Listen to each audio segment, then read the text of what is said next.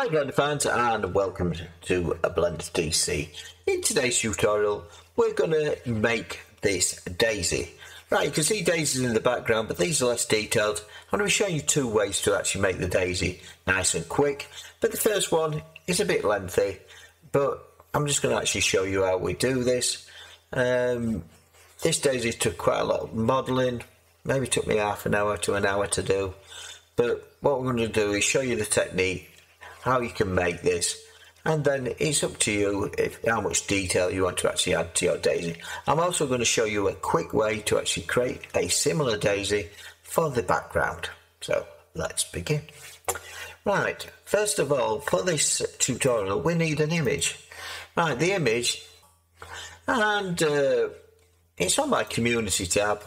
So if you actually go on my video, hit the little uh, bunny rabbit here, go into community tab on my channel and you'll find this daisy. Now this daisy is a PNG daisy and a PNG daisy has an alpha transparency. Right, I actually took this, uh, the picture of this daisy while I was on a walk the other day. Ah, oh, there it is. There it is. And as you can see, that's the daisy. And what I've done is I've actually cut it out and actually made some of its parts transparent and this is what we're going to use. All you've got to do to actually download this daisy is you right click, save image as, and this will fetch up this bar and this will allow you to actually save it anywhere you want. But that's free to download and I just took a picture of it while I was out on my walk with my dogs. So, you know, you pick inspiration from wherever you find it. So we've got this. So first of all, we want to make the centre of our daisy. Right, so X to delete, and we're just going to add an object, and the simple object we're going to add in is a mesh, and it's going to be a UV sphere.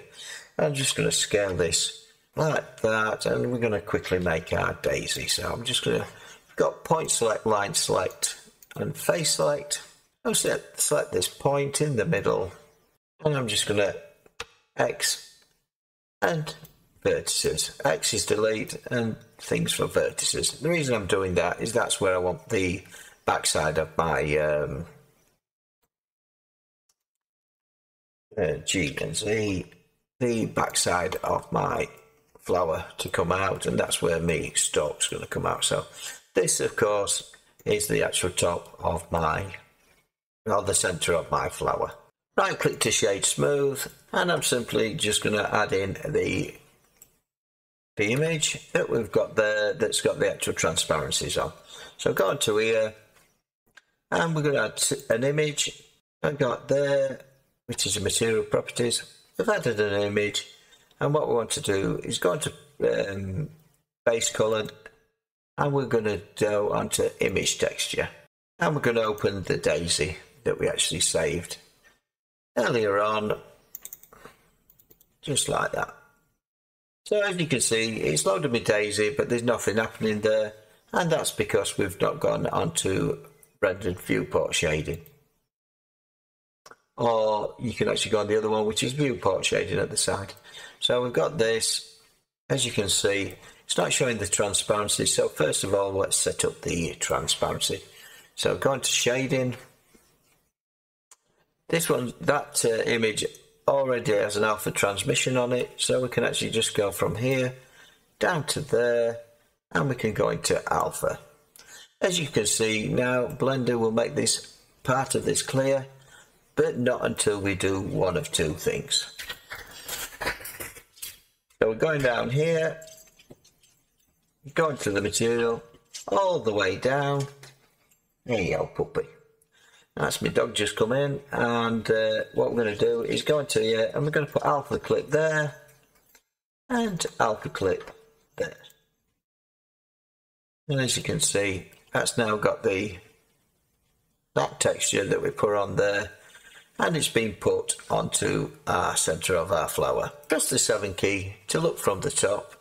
Our object's still there, it's just part of, part of it's invisible. So let's actually put the center of our flower onto our image. So that's where you go into UV editing. Go on to here. 7 to look from the top. And we're just going to select the actual image that we got there earlier. Just going to go to the actual uh, render there so you can actually see this again. And tab to go into edit mode. A to select. And view. And then project from view. As you can see, that's now put that there. Press the A key to select all. And we're just going to scale this up a bit. And G, move it into, oops, Control Z, just to undo. G, and move it into position there. And select it. Pressing the tab key and back out of edit mode. So quickly and easily, we've just made the center of our flower and I'm just going to go into layout again. I've got the center of our flower and I'm just going to select this ring down here and we're going to add in one more color. Go back up here, add another color in and I'm just going to make this a simple green. Comes up. There we go, new. And make this a simple green lot of roughness. I want it to be quite dull. And then I'm just going to grow the selection. So I've got this ring selected here. By pressing the Alt key, you can actually select this ring or this ring. I'm going to select this ring here. Control and plus, plus, plus, plus, plus, just until it's in about the right place. And I'm just going to colour this in green by hitting the assign key. So we've now got the centre of our flower and if we were to actually just select this we can just E and Z extrude in the Z and we've got the bottom of our daisy. So looking from the top what we're going to do now is add a petal to the daisy. So I'm just going to add in an image and the image is going to be a background. In fact, make it a reference image. Reference image. So back to the place where you save the daisy. You can find it. Yep, there it is. Select your daisy.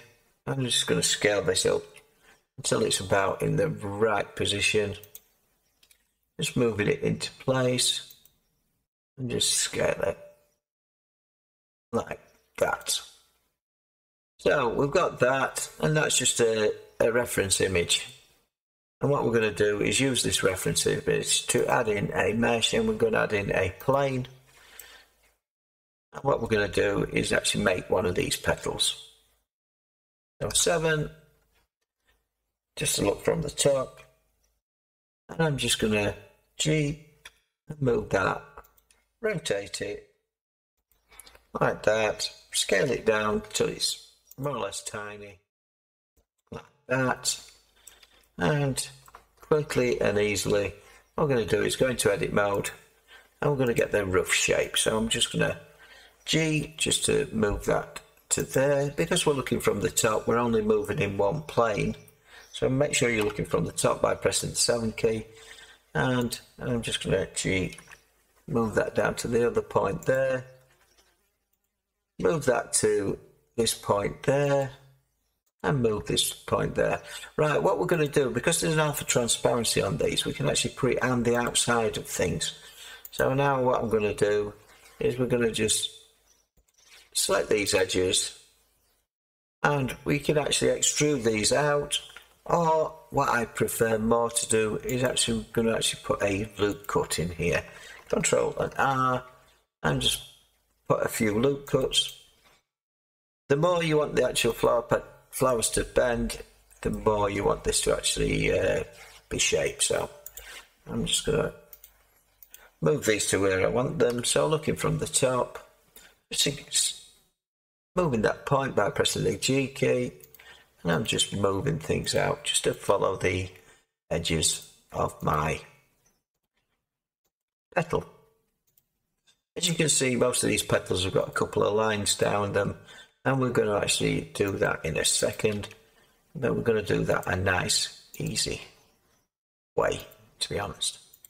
So I'm just following the actual shape of the petals roughly, like that. And as you can see, we've got our petals, or our petal. And then with the actual top one selected, to put our two lines in there, in fact I'll do it somewhere in the middle, just make it easier. Control and R, and just roll the mouse button down to actually put those two lines on there. And if I go to the side, like this, and if I go G and what I can do is move them down there. So as you can see, the petal's getting a shape to it. And G and Z, just to move it up. So we've got a petal, as you can see, and shade smooth. I've made our petal. Right, to get the pattern of the petal on there, what we need to do is add that texture that we created earlier, like that, and as you can see, the old daisy is now on there. So UV editing, 7 to look from the top, like that, and what we're going to do is A to select all, U to project from view. Always got to be on this side. And then we're just going to go onto this side, A to select all, and just move it into place. And a bit of scaling by pressing the S key. And we've made our very first petal.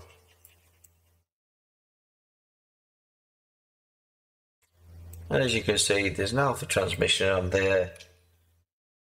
So you can actually see through the parts. You can see it goes slightly beyond, but you can see through it.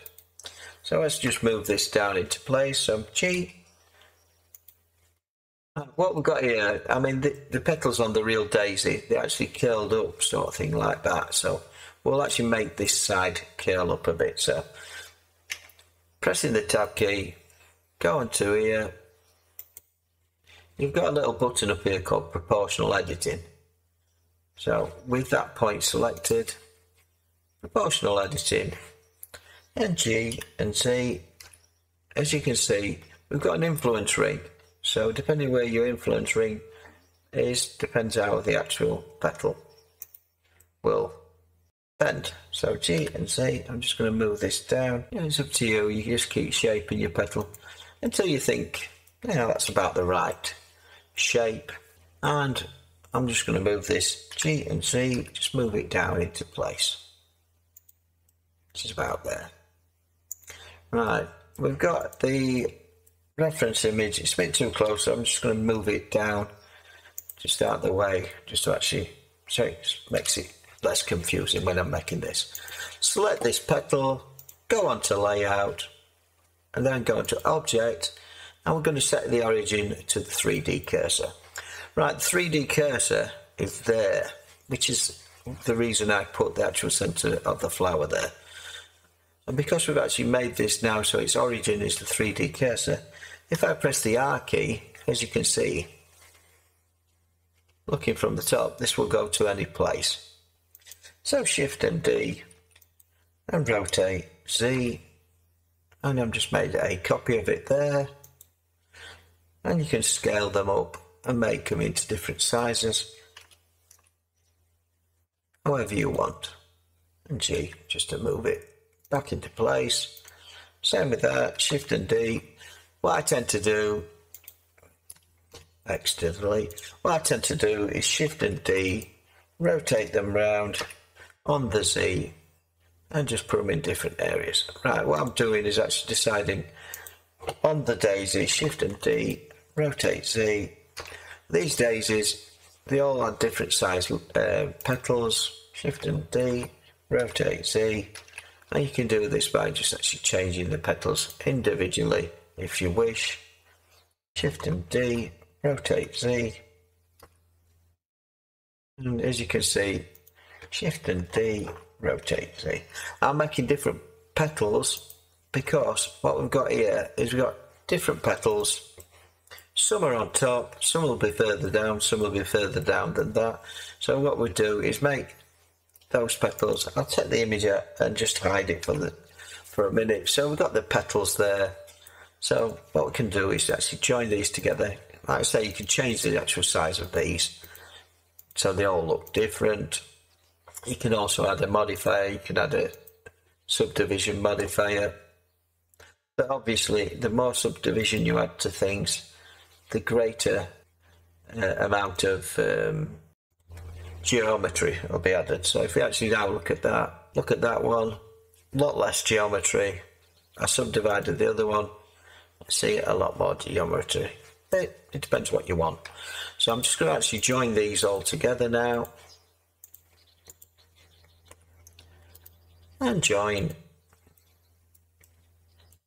Shift and D to duplicate. G and Z just to move them down slightly. The reason I've done that is now I can actually rotate these in the Z. Solid. If you press the Z key, it'll actually go into all sorts of different, you know, uh, modes rendered. Uh, it's just like a shortcut. So, just a quick check. Check the, the origin is still in the actual center. Set it to 3D cursor, and we can rotate these petals Like that. And I'm just going to duplicate these again. Shift and D, G and Z, just to move them down a bit further. And then rotate in the Z. as you can see, Shift and D, rotating the Z. I'm doing is actually just filling all the gaps in and slowly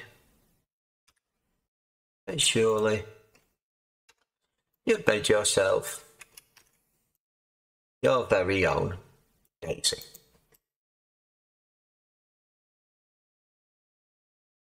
As I mentioned earlier on in the tutorial, or did I mention earlier on in the tutorial? But now I'll show you an actual quick way of actually achieving the daisy effect for the ones that are in the distance and don't need as much detail. So we've created that first daisy and say that's the daisy in your foreground. Now, we'll just you can just rotate it however you want. It's a moving. These proportional editing things quite useful, know, because you can actually grab things like that and then just move them. And obviously, you can actually rotate things as well. So I'm just going to join these all together just to actually make my daisy and just join it together, rotate it like that. Oh, I quickly and easily made my daisy. Now, let me show you the actual quick way to make this daisy. So I'm just going to undo this to actually just move the stem back into the correct place. So we've got all this, um, in fact I'll separate, just keep doing it until everything's separate. Right, so I'm going to delete all the actual petals now. Like that. So say you've got your petals here and you just want to actually make a quick and easy daisy for the background without actually having to model every single petal and everything like that. This is where the second technique comes in. So I'm just going to add in a object, add in mesh, and what we're going to do is add in a circle. I'm just going to scale this circle so we can see it. So we've got the circle. Tab to press into edit mode. E to extrude. Oh no. So you've got to make sure that you've got line selected up here. A to select all. E to extrude. S to scale. And we're just going to scale it down like that. And what we'll do is we're going to just grab that G and Z just to move it up like that. Right, looking from the top into edit mode. A U to project from view. And then what we can do is go into UV editing. A, make sure you've got all selected. view to project from view and just make sure that actually covers your whole um, daisy and all we need to do is then add in the texture that we created for the daisy and what we've done there is we've now gone to object uh, gone to layout again we've quickly added our petals. Shift and D just to duplicate. E and Z just to move it down. Just give some more petals. Rotate in the Z. E and Z just to move it up a bit. As you can see we've quickly and easily. Made a different daisy. and you might prefer that one. Join it depends how many you want to do. Obviously this there has got a hell of a lot less geometry in it. And if you've got a field full of daisies let me scale these down just to make them fit better. You've got a field full of daisies that might be the way you want to go. I'm just going to scale this down because oh, ah, proportional editing's on still. Control C under the proportional editing I'm just going to select this because there's a little bit of yellow showing out there. So I'm just going to scale this. G and just move it into the center. Same with this one. Now scale. And you've made yourself your very own daisy. Right so let me do this again from scratch. Right so we want to make a big daisy so we'll actually create our circle again So I want to make a huge daisy now. So add an object, add mesh, circle, scale our circle up, press the tab key, get us into edit mode, tab, E to extrude, S to scale, make our quick daisy, G and Z, so we're making a huge daisy this time get our ring, make sure it actually goes on the inside of this and scale this down. Right, so going to UV editing again, we need to actually add the image in. So we've added the image in, takes a couple of seconds for it to work it out, press the tab key and as you can see it must be over the black of something. So looking from the top, view, project from view, same again. Scale this nice and big. Scale. And as you can see, that dot in the middle needs to actually move to the edges. Just going to move this to there. And then what I'm going to do is select that middle circle, scale it up, and just move it into the right position. Just scale it up. Just about there. And then if we go back into layout, as you can see, you've made yourself a really huge daisy. And Shift and D just to move that down. G and Z and rotate it just as we did before. I'm just going to scale them down a little bit us usually a little bit smaller. And there you have it. We've made ourselves a quick and easy daisy with next to no geometry. And the other good thing about this geometry is it's all good geometry. In other words, if we look at it, the topology is really good. So I like the rectangles and no triangles apart from the very centre here. And if you want to add a little bit of uh, dent to this, you go on the prevention